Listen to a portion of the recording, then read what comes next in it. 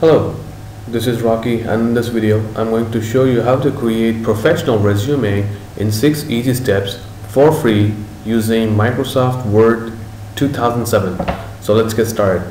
To do this, uh, simply open up Word 2007 and the first step is to click on this office button icon in the top left hand corner of the screen.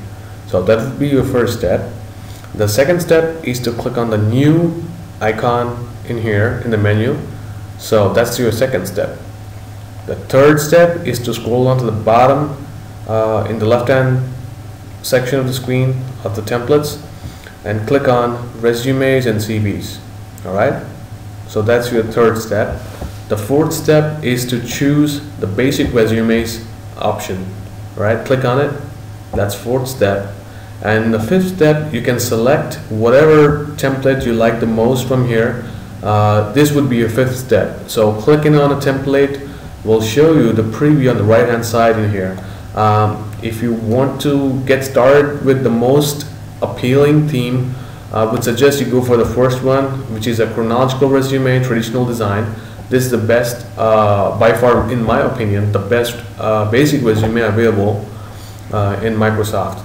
Okay, and this would be your fifth step and the last step is to simply download this uh, theme or template to your uh, Microsoft uh, Office. So simply click on the download button.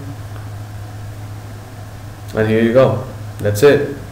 And this is uh, appearing a lot bigger than uh, what it generally is. To zoom out just simply click on the minus icon in here in the bottom right hand corner of the screen I'm gonna make it 100% okay so looks good. Simply edit the information as you need simple click on um, any of the fields and fill it out.